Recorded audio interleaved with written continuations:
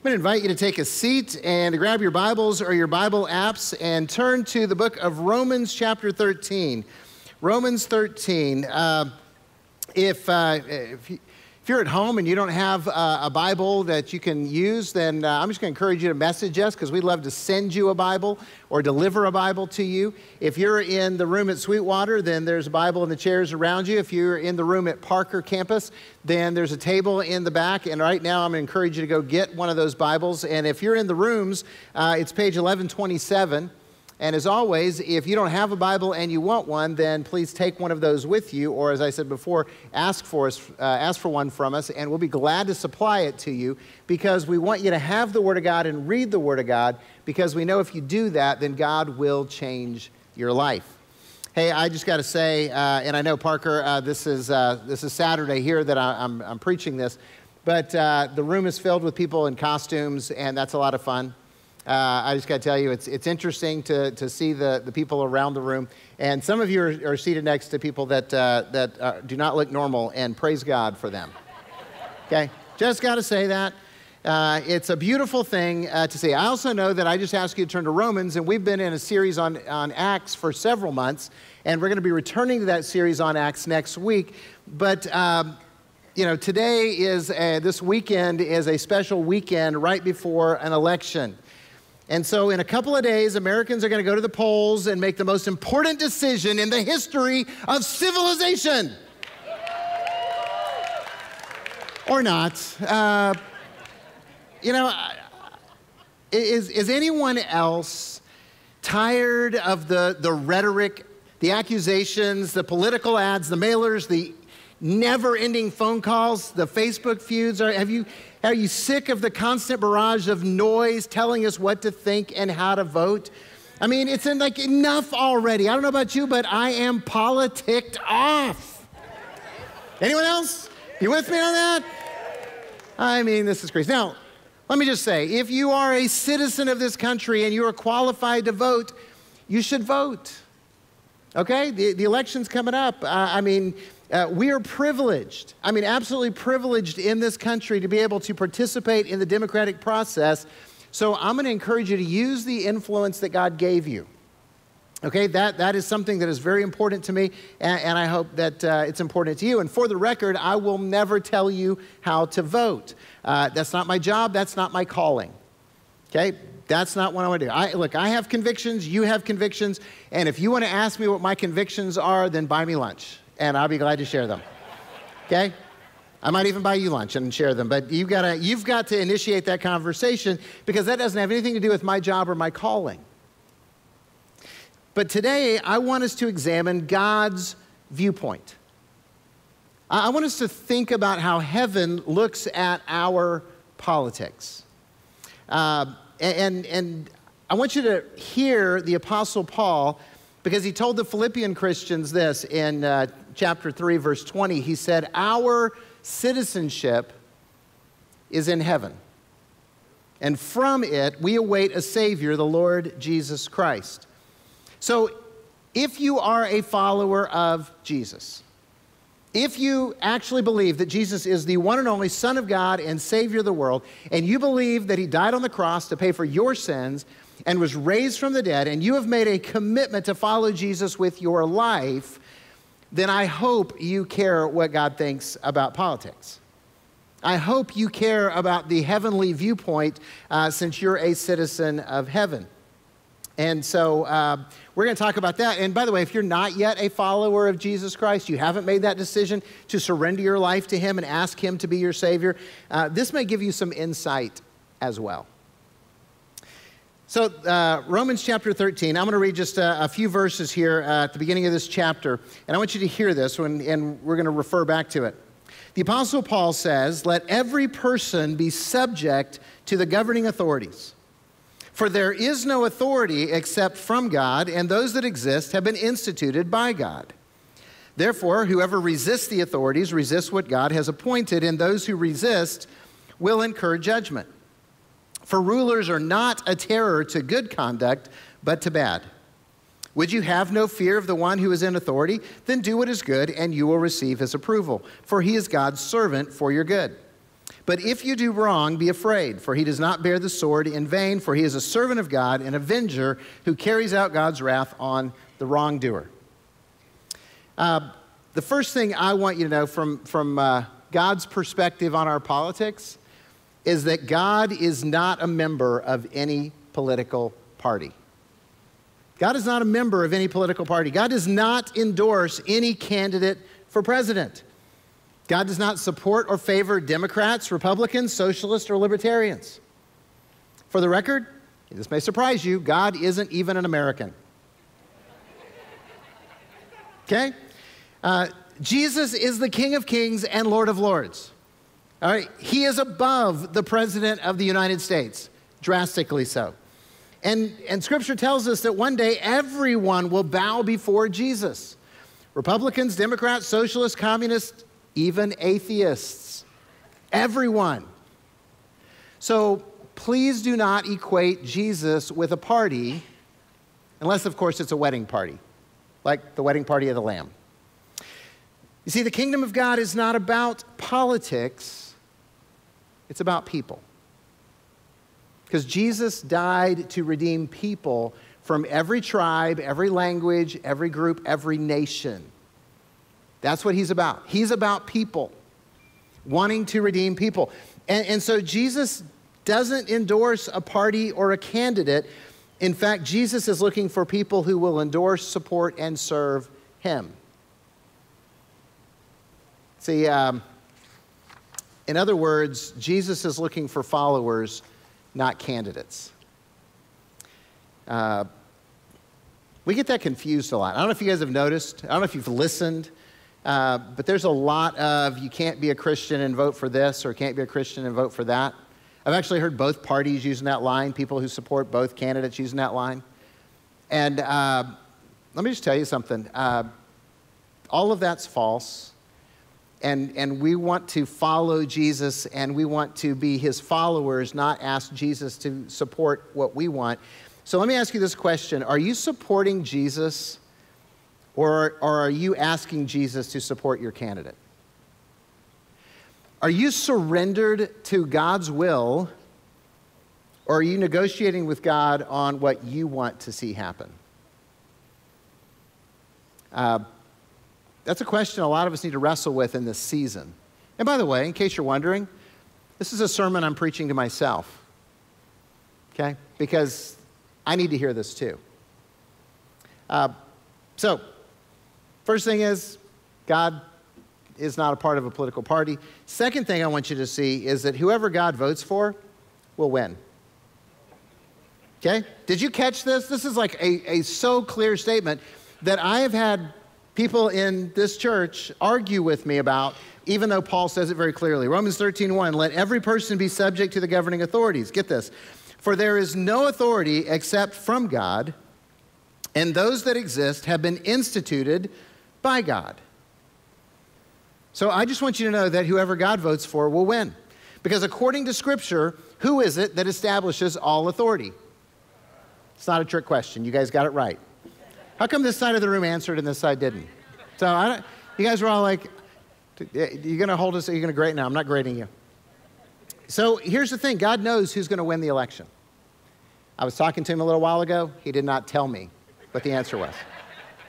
Because God is the one who institutes authorities, God decides the election.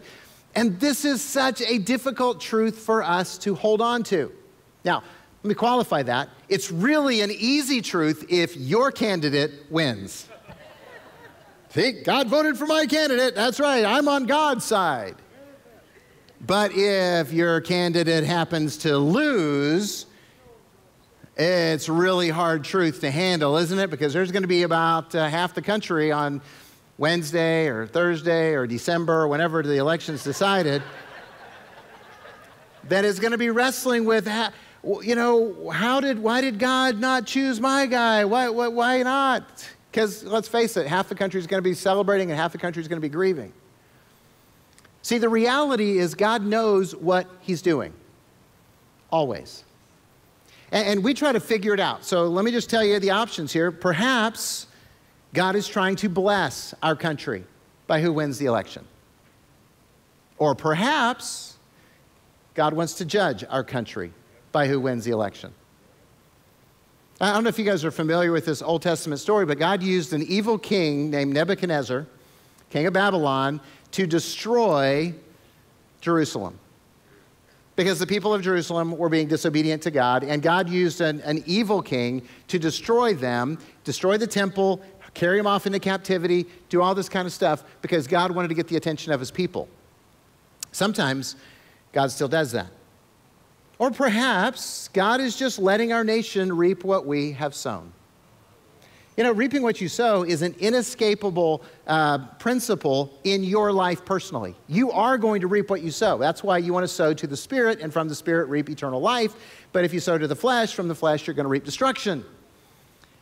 If we as a nation choose to sow to the flesh long enough, we're going to reap destruction. That, that's just reality. And um, if you read again the Old Testament, the, the kingdoms of Judah and Israel had many more bad kings than good kings, and they were God's chosen people. So, uh, whatever the purpose that God has, just know that God never loses elections. Ever. Can't happen.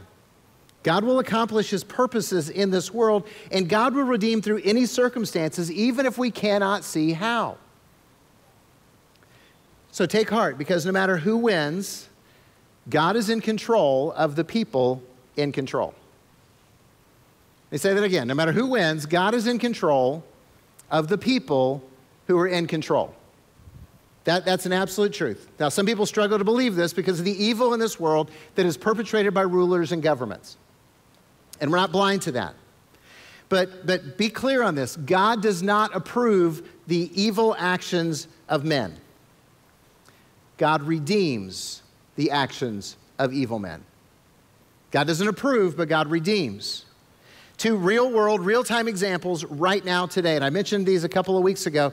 Uh, China has been officially communist atheist for 71 years and yet, the church in China is growing tremendously. And in not too distant future, there's going to be more Christians in China than any nation in the world. That's crazy. That's how God redeems an evil government that is oppressing and persecuting its people who want to worship Jesus. Another example, according to Operation World, which is a Christian ministry uh, working with uh, uh, developing nations around the world with the church in those, says that the two fastest growing churches or countries that have the fastest growing churches in the world are Iran and Afghanistan.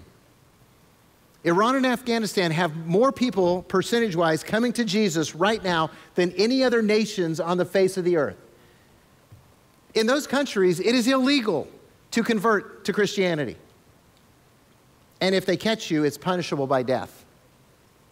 Now, those are evil rulers, and yet the gospel is spreading and growing because God redeems and God is in control of the people in control. So, uh, whoever God votes for is going to win uh, the election.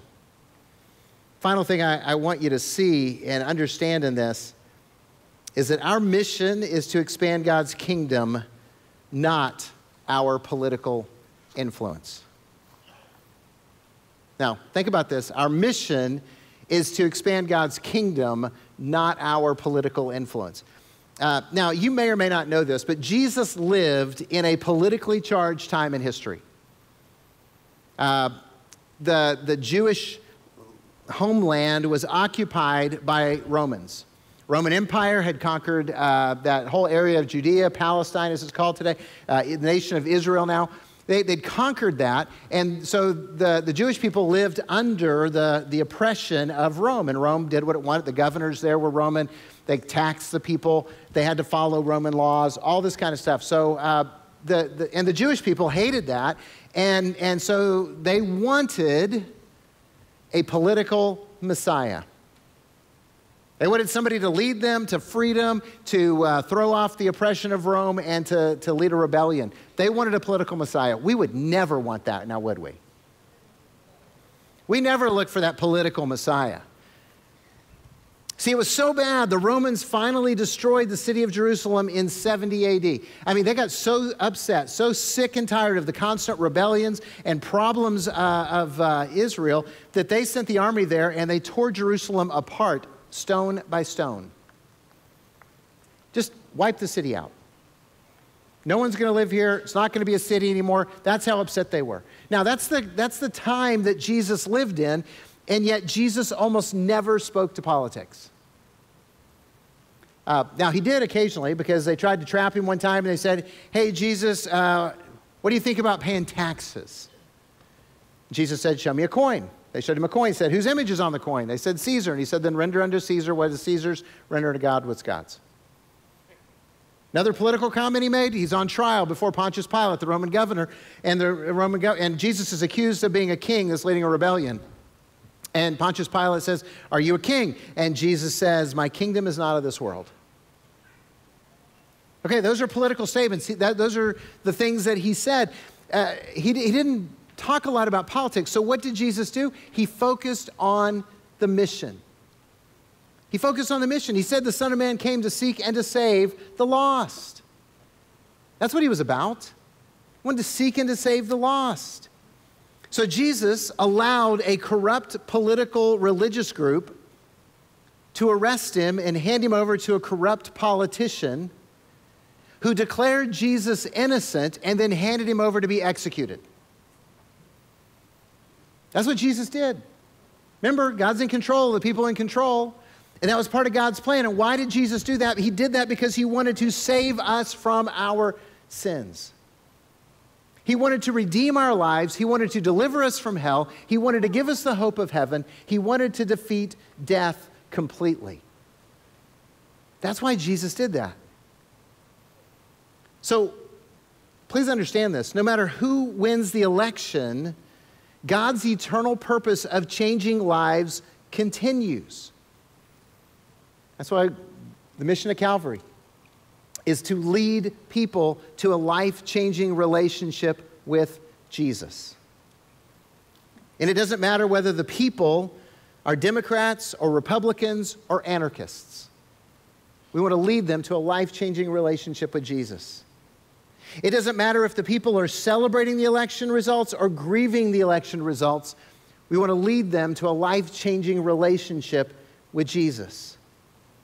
It doesn't matter if times are good or bad, if the economy is thriving or in recession. It doesn't matter if the world is at war or at peace. The mission remains the same. We want to lead people to a life changing relationship with the Son of God, the Savior of the world, Jesus Christ. Because He is the only one who can forgive sins. He's the only one who can change our lives. He's the only one who can take us to heaven. He's the only one who can save us. And if we remember that, and if we remember that God is for us, therefore it doesn't matter who's against us, then we can rejoice no matter what.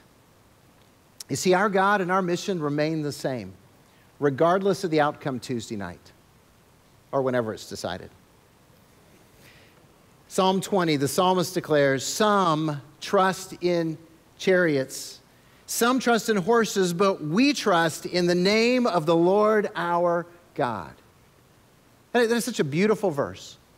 Some trust in chariots, some in horses. We trust in the name of the Lord our God. So um, I'm going to vote. Uh, well, actually, I already have. How, how, many of you have already voted? Okay. Those of you didn't raise your hands, just got a couple of days. So make it count. Um, and, and and I want my candidate to win, just like you want your candidate to win. Right? You know, we're honest about that. But today, are you placing your trust and your hope in a person to be elected president, or are you trusting in the living God who saves? Let me say that again. Are you, are you placing your hope and your trust in who's going to win an election, or are you trust, placing your trust and your hope in the God who is alive and who saves and who lives and reigns forevermore? because I want you to walk out of here or finish your evening watching this at home and have peace that passes understanding. Because whatever the outcome is Tuesday night, Jesus Christ is Lord. Jesus is King of Kings and He's Lord of Lords. And if you belong to Him, you can lose an election, but you still win. See, this is His world, and we're His people. And here, here's the thing we're called by God to make a difference in this world. We've been entrusted with the good news of love, that God loves everybody, that there's mercy and forgiveness available to everyone who calls on the name of Jesus. We have the hope of eternal life and life change in this world. And we have been commissioned by our Savior to love people relentlessly. So I've decided that even though some may trust in chariots and some in horses, I'm going to trust in the name of the Lord my God. Who are you going to trust? Let's pray. Father, we know that you are good. We know that you have loved us and demonstrated that love in the sacrifice of your Son, Jesus, who gave his life on the cross to pay for our sins, was raised from the dead, so that we could understand that, that resurrection is part of the promise. You've, you've guaranteed our salvation and said that heaven is where we're going to live forever in your presence, where there's no more suffering or sorrow or death or pain or politics. But right now, we're living in a world that is torn apart by politics. So, God, I pray that you'd give us peace, that, uh, that you would help us to, to face our, our day today and tomorrow and the next day and our future as your children with faith, with hope, with joy, no matter the outcome of temporary elections, whether policies are what we want or what we despise, uh, God, we want to live for you. We want to speak truth. We want to demonstrate love to everybody that we meet, whether they are kind or whether they are evil. We want to be your representatives in this world. We want to be on mission for Jesus. So, God, we give ourselves to you because Jesus Christ is alive, He's risen from the dead, and He is one, and we are followers of the King above all kings. It's in the name of Jesus that we pray. Amen.